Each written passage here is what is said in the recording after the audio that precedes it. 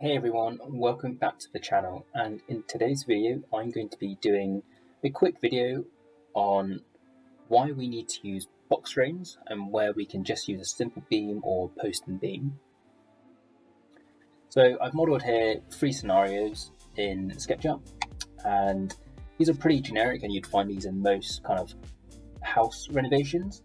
So moving forward to the simplest version and so this is where, say, someone wants to create a new opening in an existing wall, and where you can get away with using just a simple beam or even a lintel is when the opening's not exceeding around three meters. It depends on the load, but rough rule, three to three and a half meter opening, you can get away with just a beam, and you won't need to mess around with like steel posts or making any adjustments to the foundations.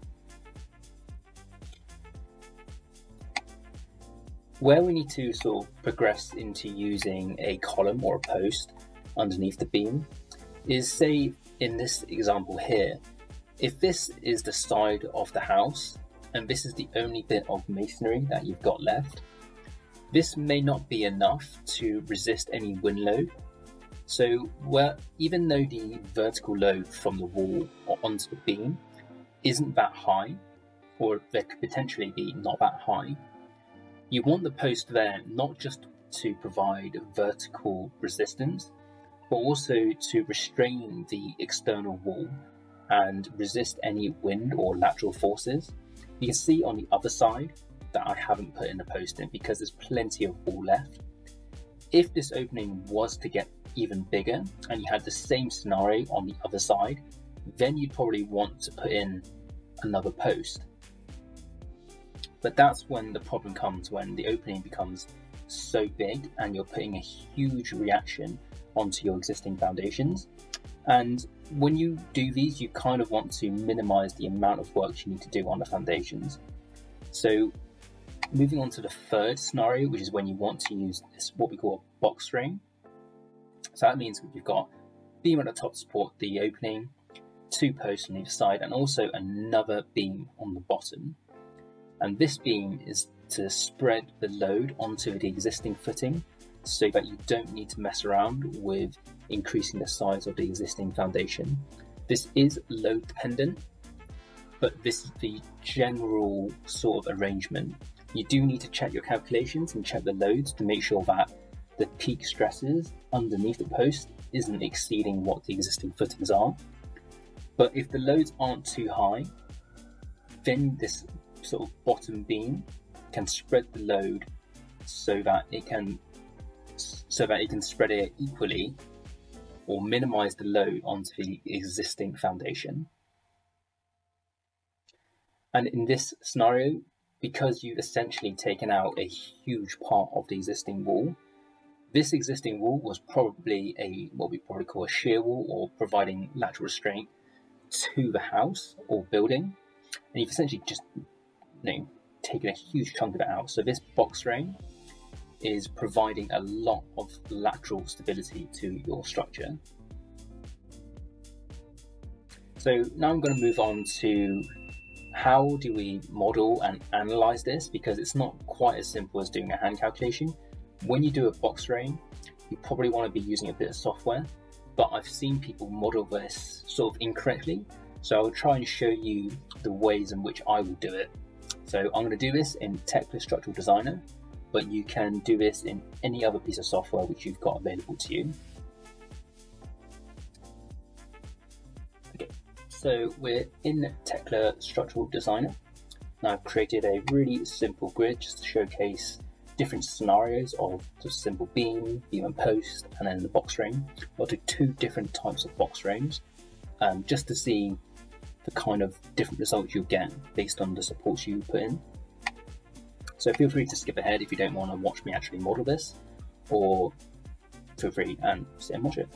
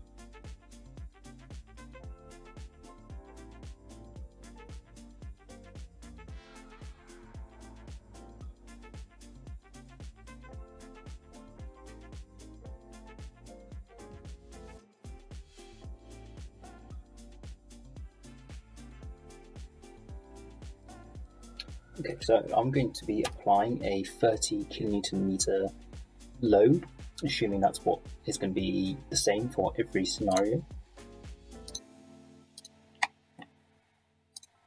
I'm just going to apply it to dead load for now. It doesn't really matter. This is just an example to see what the forces and stresses look like based on the same load.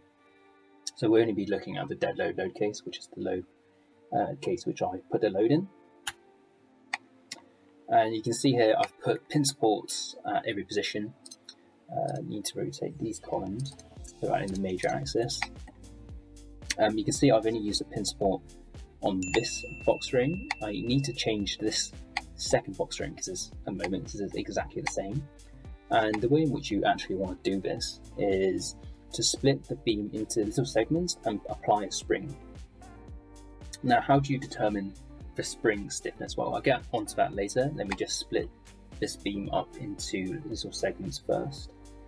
Um, not too familiar with Tekla Structural Designer, but I don't know if there's a better way of doing this, but this is the kind of way I know how to do it. So just bear with me.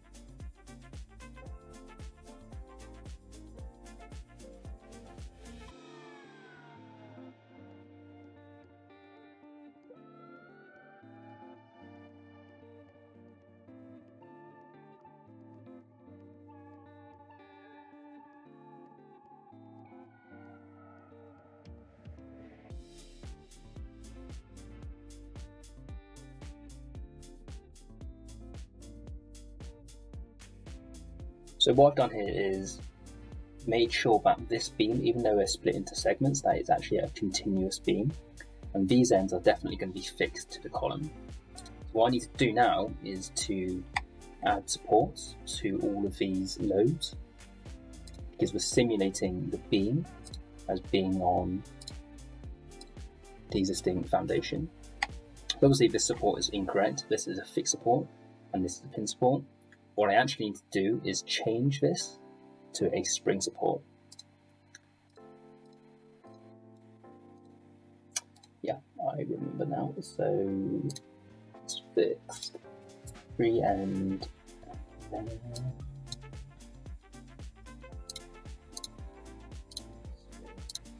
so how do you determine the actual spring stiffness? Well, if we say the existing load onto the foundation was 50 kilonewtons per meter. Now, for normal foundation design, say you were given a bearing pressure from a geotechnical report, the bearing pressure would allow for some displacement, and normally the allowance is around 20 millimeters. So if you did the spring stiffness calculation, which is the force over displacement, if you did 50 kilonewtons per meter over 20 millimeters, you're going to get a spring stiffness of 2500. So that should now be a spring. And I need to do the same for all of these.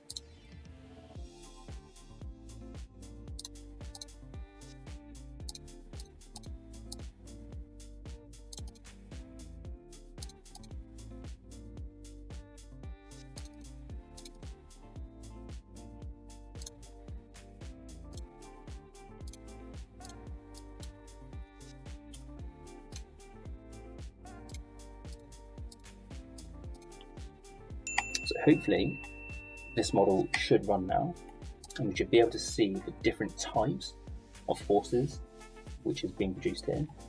I didn't say this earlier, but this these beams in a box frame, they don't have to be fixed, but generally if you're creating a box frame, they probably should be fixed as they're providing stability to the wall.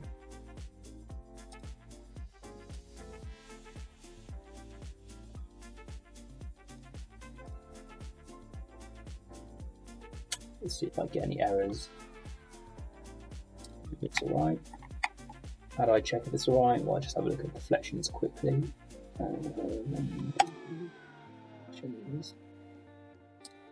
Values. See, those values look alright. When I say alright, I don't mean the values themselves. I'm not getting displacements of like 10 million or something like that, which which indicate that something is terribly wrong with the model. These values are small. The model probably is okay. So that's the deflection. So what we're really interested in is actually the bending moments and the shear forces. So let's just have a quick look. Let's have a look at major. So that is behaving as we'd expect. So simple beam, simply supported beam, say beam on two padstones either side, that's the bending moment we'd expect, UDL. And the same instance with a beam, simply supported beam on two posts. We're not necessarily providing a moment frame or anything, although you could. So this bending moment shape is, you know, it's correct. And as you'd expect, the values are also the same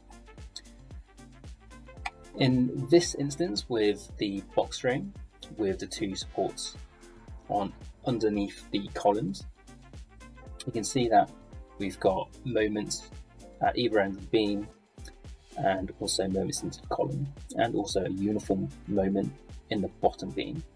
Where this differs is where we've got the spring and this is because of how the springs are behaving. But what we want to look at is also, let's just have a look, quick look at the shear force. So it behaves quite differently if you model it with springs at intermediate sections of the bottom beam. So which is actually more accurate?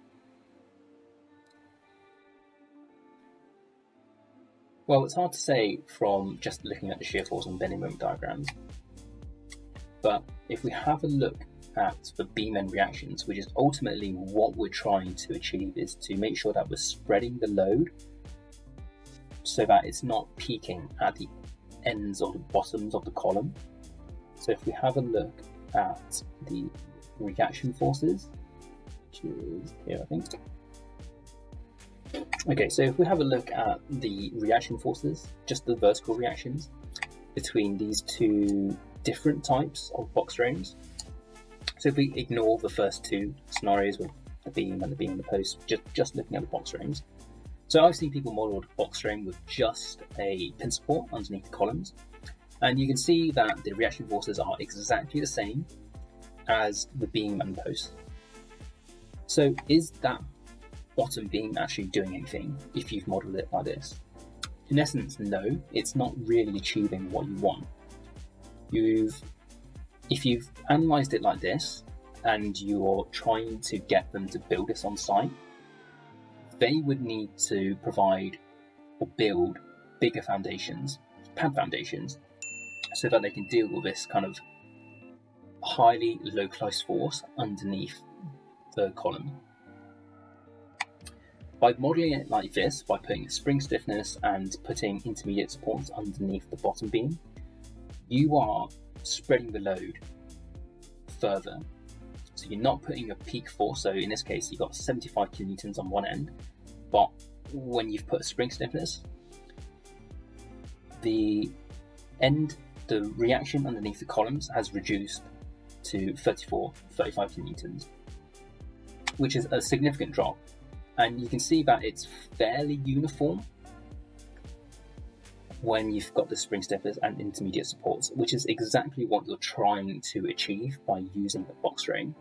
So in my opinion, this is actually the correct way in how you model a box frame.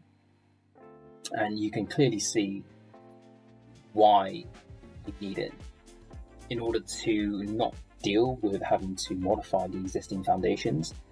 This becomes a very, very attractive solution for contractors and clients if they want a really big opening. Now, there are ways in which, or in some instances where the opening is so big that you still have really high forces underneath the columns. And what you need to do is just to play around with the model and essentially make the structure stiffer so that it can spread the load further. Hopefully you won't run into too many scenarios like that because they can be quite challenging. And in most instances where you are using a box frame, you shouldn't really have that problem. There are occasions where people you know, want some crazy stuff happening in their existing house or they want to build something really crazy. So there are instances where that does happen, but generally you probably won't really run into that problem. And this is just to show you how you can model springs in Tekla and how you do a simple sort of 2D frame. And just to see how it actually behaves and why putting just simple supports on the ends of columns is not the right solution. Now there is more to it to designing it, but I might save that for another video because this is my first time kind of talking over as I'm showing demonstrating something. So I'm a bit conscious that this video is taking too long. So in another video I might show you how you actually design it, but in essence, in short, how you design it is you just go through the forces, bending moment, deflections, shear forces, reactions, check that everything is within the limit of the section sizes which you're choosing. Generally, box frames will be UCs, but depending on what they're supporting, you could be using UBs. But generally, you want the structure to be pretty stiff uniformly, um, so you're not getting some really weird interaction. Also, when you're designing this properly, you need to remember to factor in some wind loading if you know, if you're putting this box frame and it's supporting the wind loads, you know, it's become a racking system or you know, restraint lateral force system. So you need to remember to put some lateral wind loads on the model, and that can sway the results in, in, a kind of different way. So you need to make sure that you check all your different combinations. But in short, that's kind of what you have to do. And hopefully this video has been helpful and hopefully I haven't dragged this on for too long and I've kind of, hopefully I've explained this clearly. If not, please feel free to drop me a comment below. Um, please remember to like and subscribe and I'll catch you on the next video. Cheers!